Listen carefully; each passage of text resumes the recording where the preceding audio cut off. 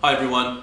We hope you enjoy this insight into the daily operations and some of the training that the canine unit and their handlers go through at Ol Pejeta in Kenya.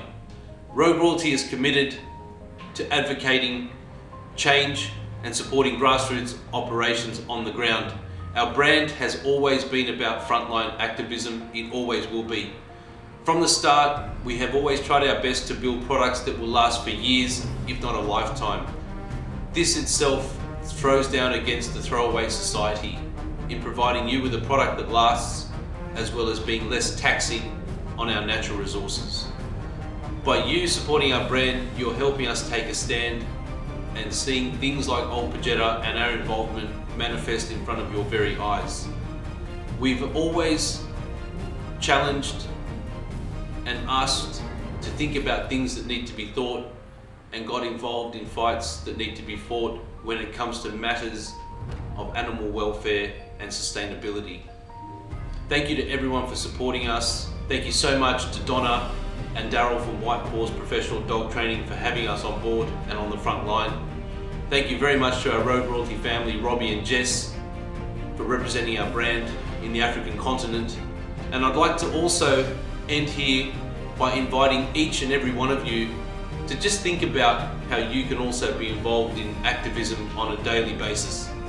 Every time you're spending your hard-earned dollar with a company, please research the company and try and invest in organizations and those companies that have your world and your family at heart. Not those companies for the sake of greed that would have your world fall apart. I'm not here to preach, just simply trying to reach. Think about it, please. Take care out there, and thank you so much for supporting grassroots organisations like Ol Pejeta or any other movement that betters our planet. Take care out there. Peace.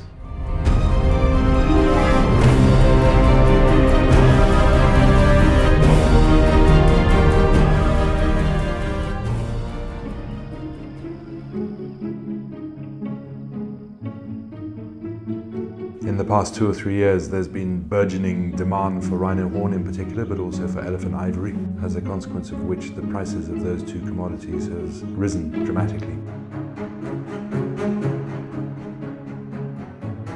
What they're carrying around on their head, the horn, has varying values between sixty and two hundred thousand dollars a kilo. This is what makes them such a target.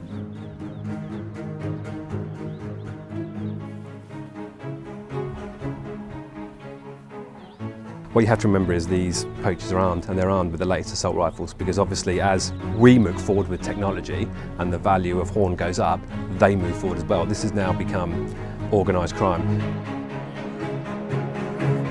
What we've currently got in training now is we've got a multi-role dog. What it does is first of all it will locate a carcass, the second thing it will then track from that carcass, track after the poachers and then it will apprehend if necessary.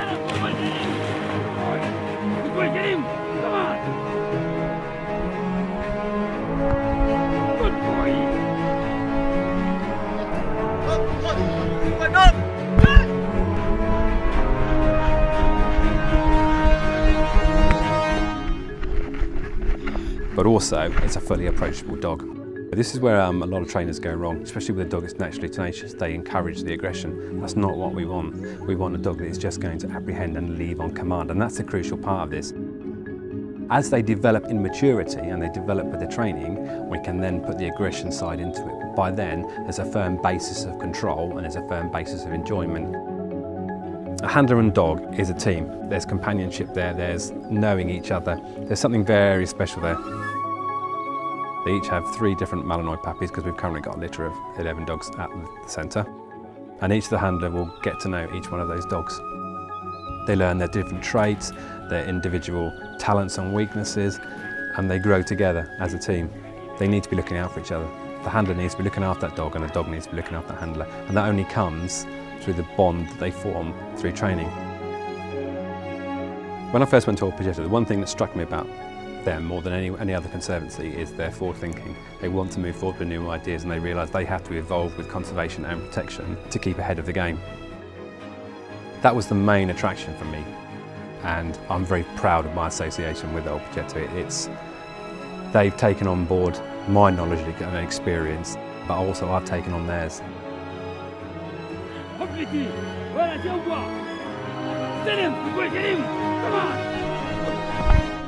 Good boy. Even within sort of the last seven months I've been working with Ol Pejeta, it's grown tremendously. What I'd hope to have is a, is a 10, 15 year plan in place where we keep moving forward and we keep evolving.